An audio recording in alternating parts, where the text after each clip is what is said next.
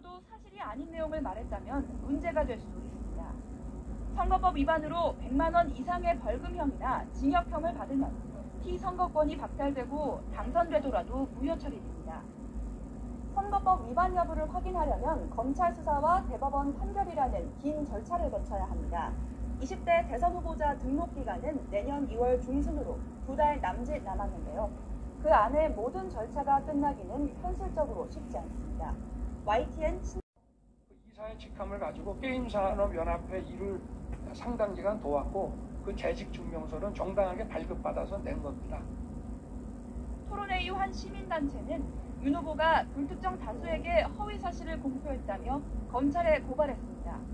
쟁점은 윤 후보가 배우자의 이력서에 허위 사실이 포함된 걸 인식하고 있었느냐는 겁니다. 알고도 사실이 아닌 내용을 말했다면 문제가 될 수도 있습니다. 선거법 위반으로 100만 원 이상의 벌금형이나 징역형을 받으면 피선거권이 박탈되고 당선되더라도 무효 처리됩니다. 선거법 위반 여부를 확인하려면 검찰 수사와 대법원 판결이라는 긴 절차를 거쳐야 합니다. 20대 대선 후보자 등록 기간은 내년 2월 중순으로 두 달 남짓 남았는데요. 그 안에 모든 절차가 끝나기는 현실적으로 쉽지 않습니다. YTN 신지원입니다. 예래 강주시민 양념하는 거 같아요. 나두 사람 중에 한 사람은 철도에 좀 감옥에 가야 할 거야.